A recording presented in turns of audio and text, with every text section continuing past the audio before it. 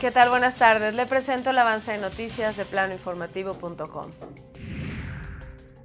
Octavio Rivera, alcalde de Tamazunchale, dijo que para esta Semana Santa se espera una ocupación hotelera del 100%, ya que con diversas actividades ajenas a las turísticas actualmente se tiene una ocupación del 70%. Sostuvo que con la construcción de un gasoducto en la zona, el flujo de visitantes se ha incrementado.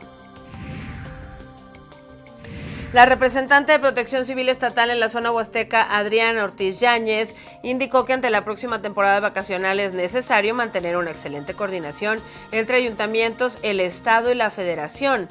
Anunció que por este motivo se convocará en breve a una reunión de trabajo formal con cada uno de los titulares de Protección Civil de los municipios para además conocer lo que han adelantado en cuanto a mecanismos para cumplir con las medidas de seguridad, sobre todo en los municipios que cuentan con parajes o que al año registran un alto número de visitantes provenientes de diversos sitios del país e incluso del extranjero, aseguró.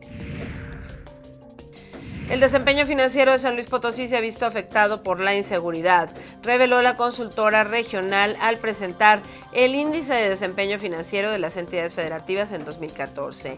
La directora de Finanzas Públicas en A Regional, Flavia Rodríguez, informó que los estados que salieron reprobados en esta evaluación fueron Coahuila, Chiapas, Nayarit, Veracruz, Baja California, San Luis Potosí, Sonora, Michoacán, Quintana Roo, Tabasco, Chihuahua y Yucatán.